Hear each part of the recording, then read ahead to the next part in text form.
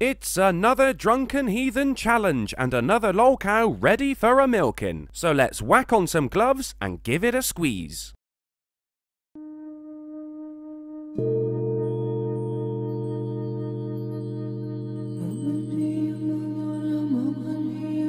What the piss is going on here? We've got a fucking master bender fucking around with balls while fucking Enya sings in the background. I bet someone put a lot of effort into this too, dickheads.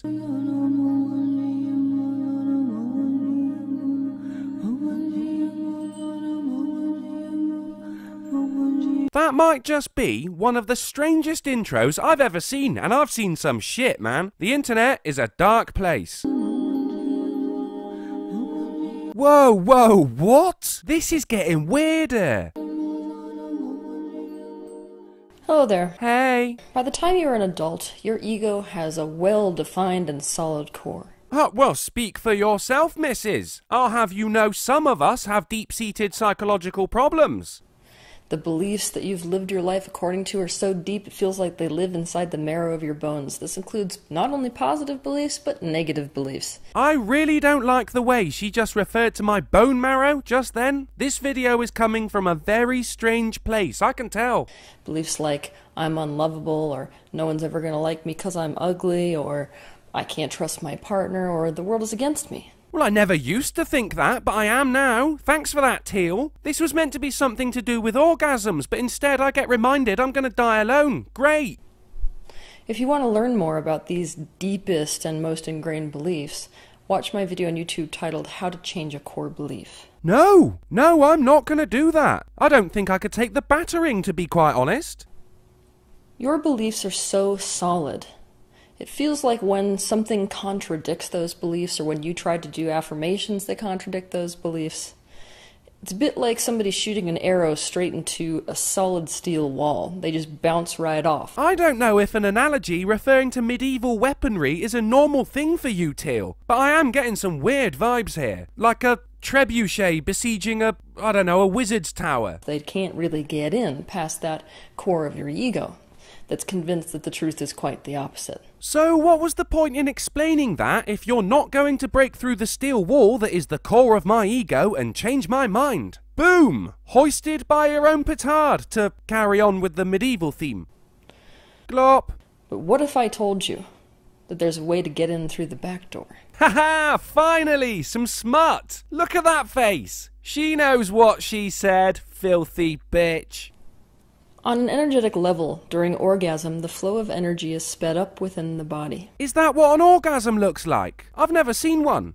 The body opens up to a state of receptivity. Oh, we are getting weird again. What the fuck is this? Can you imagine visiting your grandparents and they have this picture hung up above the fireplace? Fucking terrible. You know your grandma can't do that with her legs anymore whereby the meridians and chakras of the body are receiving an unrestricted flow of energy. Yep, there we go. That's all the chakras of the body there. Very important things are chakras. Uh, as you can see by this diagram, arms and legs, completely useless. Might as well get rid of them. No energy at all. Fuck them alignment is occurring between the vibration of your physical perspective and your non physical perspective. Bloody hell, look at her! She's having a whale of a time! I didn't even listen to what the bitch said, I was just looking at the picture. Damn, girl! No tits, though and thus you experience a blending between the physical aspect of you and the non physical aspect of you. Okay, I actually listened to that one. Don't we experience that blending all the time? Like by thinking, you know, consciousness and all that? If anything, you don't really think when you're having sex unless, you know, you need to buy yourself some time.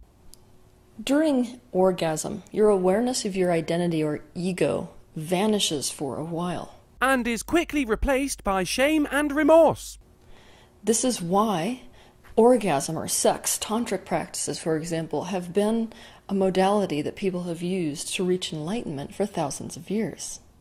Ha ha ha, yeah, I bet they have. Hey, Timmy, what are you doing in that locked room? Uh, uh, uh nothing, Mum. I'm just, um, meditating. Don't come in. What does this mean for you?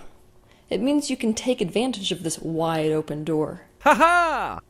You can take that opportunity to contradict the beliefs that your ego is so entirely convinced of. You hear that then, gents? Just as you're about to blow your load all over some poor girl's tits, ask yourself, is there really a God? So I want you to think about these beliefs that the ego has latched onto and become attached to.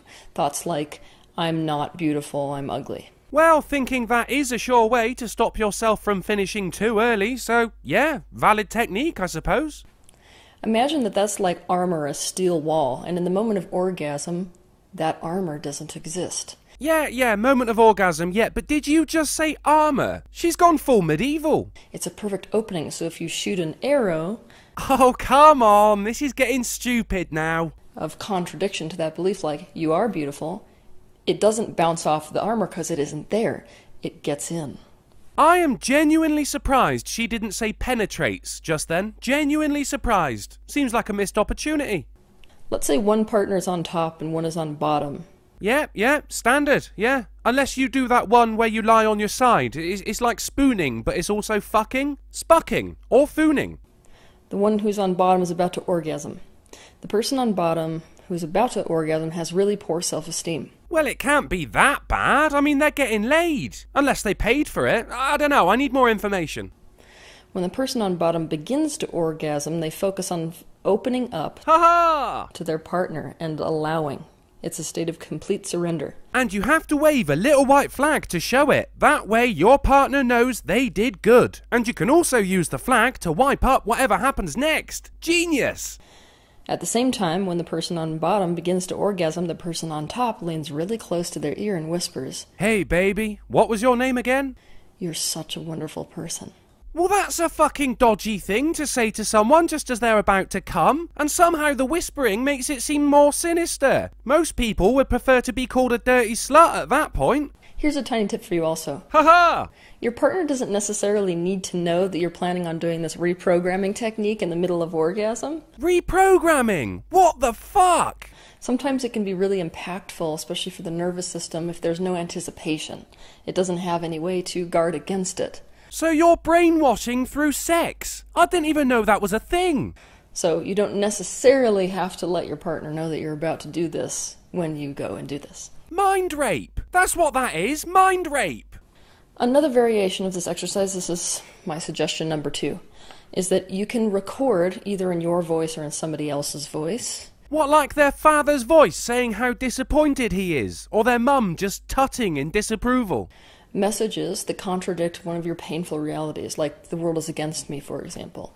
You could record one message or several of either yourself saying something that contradicts that, See, now you're making me wonder if people wank over my answer phone messages. Stop messing with my mind, Teal. Or at least wait until you fuck me first. like everything is here for your benefit. The whole universe wants you to succeed. None of which are true. So you have a recorded reminder that your partner is a fucking liar. And you could record that and then use earbuds or some sort of a device that plays it back to you while you're in the moment of orgasm as a result of masturbation.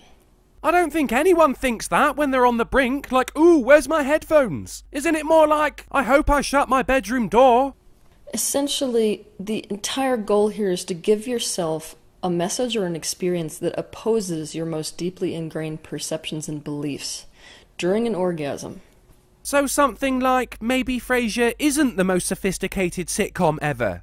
Now that you know this technique, feel free to experiment with it in any way you can. Come up with different ways to do this. Like whispering extra quietly in their ear while fucking them. That way, you don't wake them up. To work with this concept of using orgasm as an open doorway to get things to soak into your being to contradict your painful perceptions. I'm just saying though, thinking of, say, Trump's presidency when you're about to come is a sure way to not come. Or with a libtard, it could be the key to the fabled angry orgasm. And I would love if you come up with anything unique and interesting, a way to use this technique. If you could post it in the comment below this video. Look, I beg you, don't do that with this video. I mean, I can't control what you do, but guys, there's a limit. if you're feeling brave, so that we can all benefit from this technique, which has obviously worked for you. I don't think many people will benefit from that. I mean, some people might bookmark it in the old Spank Bank, but there are better websites for that, in my opinion. You deserve a life that is not run and operated by your painful beliefs. but is instead ran and operated by the person giving you a fucking good seeing to. Yeah, there's no way that'll get abused.